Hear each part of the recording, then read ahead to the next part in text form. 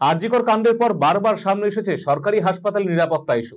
নিরাপত্তা সহ বেশ কয়েকটি দাবি নিয়ে মঙ্গলবার রায়গঞ্জ মেডিকেল কলেজ হাসপাতালে ডেপুটেশন পেশ করল association of health service doctor west বেঙ্গলের সদস্যরা।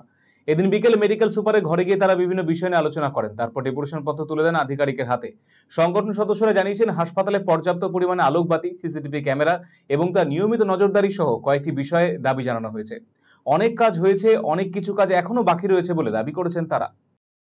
আজকে আমাদের কর্মসূচি ছিল, বর্তমান পরিস্থিতি- পরিস্থিতির উপরে যেসব পার্টিকুলারলি ডাক্তার চিকিৎসক, স্বাস্থ্যকর্মী এবং রোগীদের নিরাপত্তা, তাদের সার্ভিস ইত্যাদির ব্যাপারে আমরা এমএসবিবি স্যারকে একটা ডেপুটেশন দিলাম যে কিছু কিছু জিনিস বর্তমান পরিস্থিতিতে কিছু কিছু জিনিস নতুন করে ভাবনার জায়গায় এসেছে, যেগুলো ঠিকঠাক করার কথা ছিল, কিছু নতুন কনস্ট্রাকশন নতুন সিকিউরিটির কিছু ব্যবস্থা করার কথা ছিল সেগুলো কতটা কি হয়েছে আহ, সেসবের খোঁজ নেওয়া এবং আমরা আমাদের দিক থেকে আমাদের যেগুলো মনে হয়েছে চিকিৎসক হিসেবে যে কোনটা কতটা করলে কতটা তার সুফল পাওয়া যাবে যে সুফল চিকিৎসক স্বাস্থ্যকর্মী এবং রোগী এবং তাদের আত্মীয় স্বজনরা সব পাবে সেই জন্য আমরা এসেছিলাম কথাবার্তা বলতে এবং ডেপুটেশন দিতে এবং একটা সৌহার্দ্যপূর্ণ পরিবেশে সেই আলোচনা হয়েছে।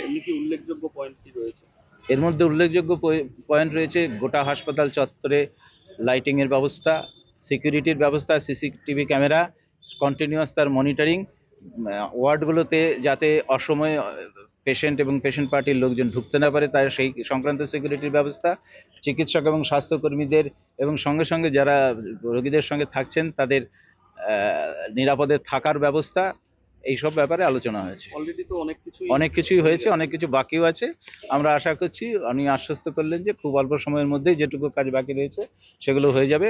আমরা বাকি কয়েকদিন পরে আবার এসে খোঁজ খবর নিয়ে দেখব যে কতটা কি হয়েছে।